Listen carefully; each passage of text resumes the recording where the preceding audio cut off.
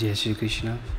आज हम भगवान विष्णु का मधु दैत्य से युद्ध एवं उसका वध के बारे में विस्तृत वर्णन करेंगे।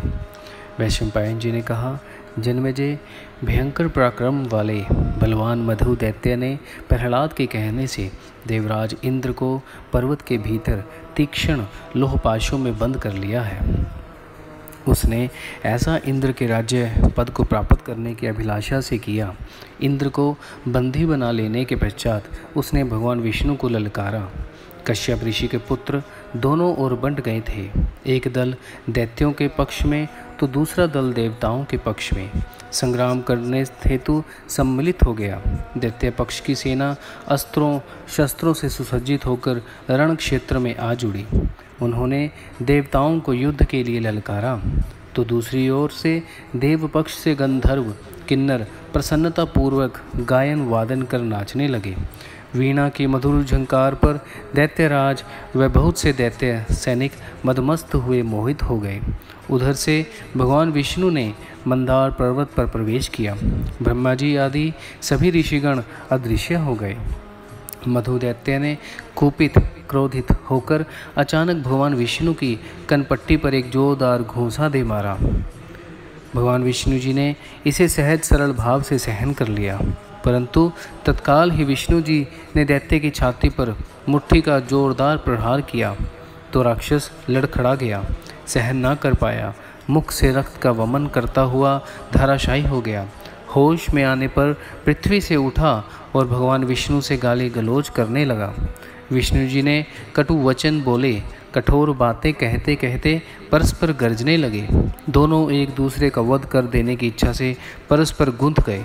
दोनों ही महाबाहु योद्धा कौशल में प्रवीण थे। दृढ़तापूर्वक प्रहार करते वे दो दोनों वीर इस प्रकार झपटते मानो पंखों वाले दो पर्वत आपस में उलझ रहे हों। दोनों में हो रहा मल्ल युद्ध मानो दो विशाल हाथियों की लड़ाई हो। दोनों एक दूसरे पर बराबरी भारी पड़ने लगे। दोनों ही एक दूसरे को घायल करके रक्त से लथपथ हो गए। महाभयंकर युद्ध भी तभी आकाश से ऋषि व सिद्धगण भगवान विष्णु का स्तुति गायन करने लगे। हे प्रभु, इस पंच भौतिक शरीर में आत्म रूप से जो विद्यमान है, वही आप चिन्ह में ब्रह्मा और देह तथा इंद्रियों वाले प्राणी के रूप में स्थित है। यही पंच भौतिक उपादान प्रलय के उपस्थित होने पर सूक्ष्म रूप ग्रहण कर आप भगवान में ही विलीन हो जाते हैं। तथा वह सूक्ष्म उपादान विभिन्न जीवों को उत्पन्न करके स्वयं निर्लिप्त भाव से सर्वत्र रमण करते हैं। वही आप योगास्ता, दुष्टों के दुश्मन अर्थात दुष्टों के विनाश के लिए और सज्जन पुरुषों के पालन हेतु पृथ्वी पर अवतरित होने होते हैं। भूतों को धारण करने वाले पृथ्वी, शेष, संज्ञक, अनंत स्वर्ग के पालक, इंद्र तथा महापंचभूत सब आप पर ही हैं।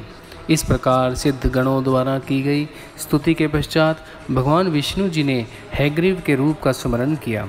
फिर देवताओं के कल्याणार्थ भगवान विष्णु ने भयंकर एवं विशाल रूप धारण कर दैत्यराज मधु दानव को सदा सदा की नींद सुलाकर समाप्त कर दिया। नरश्रेष्ठ उस समय मधु के मेद रूपी जल से आच्छादित हुई यह सारी पृथ्वी देखने ही बनती थी। इस मेद के विशाल फैलाव से ही पृथ्वी को मोदिनी नाम प्राप्त हुआ है। फिर हज़ारों असुरों द्वारा यही नाम भूतल पर प्रचारित हो गया।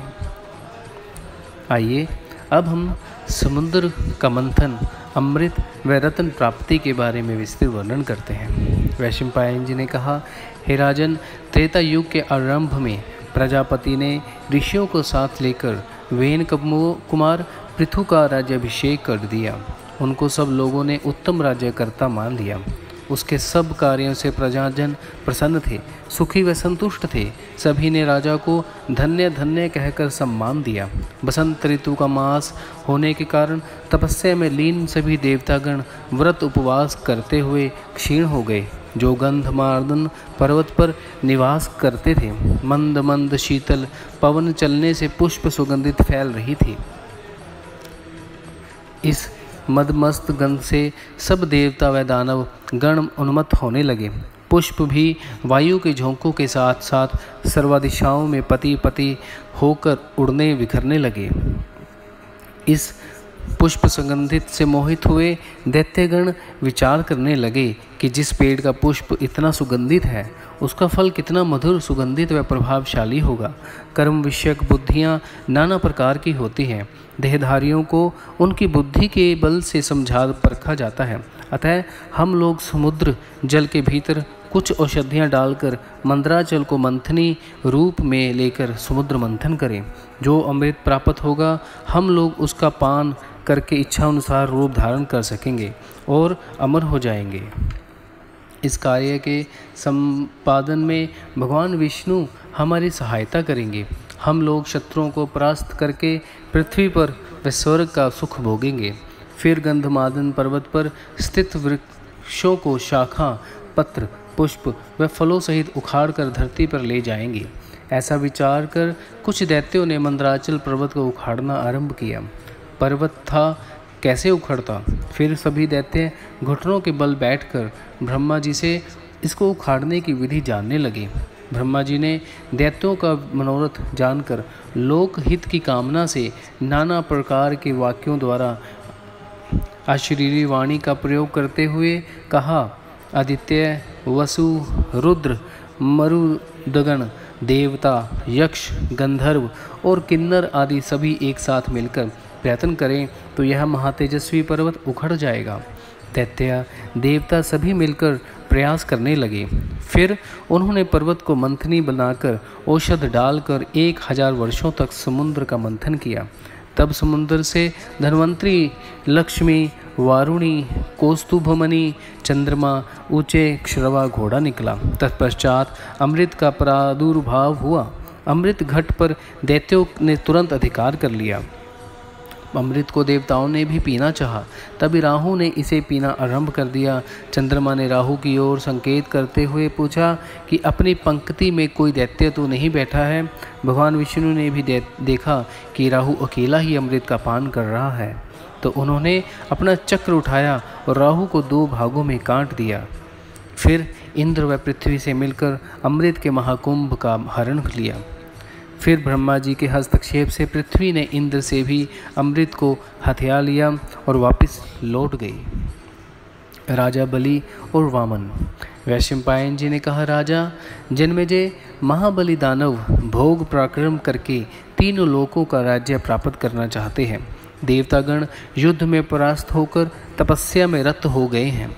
उधर राजा बलि दानव श्रेष्ठ पृथ्वी पर राजसूय यज्ञ का अनुष्ठान करने लगे। जब यज्ञ आरंभ होने लगा तो वहाँ पर वेद वेता ब्राह्मण, यति योगी और सिद्ध महात्मा आप धारे।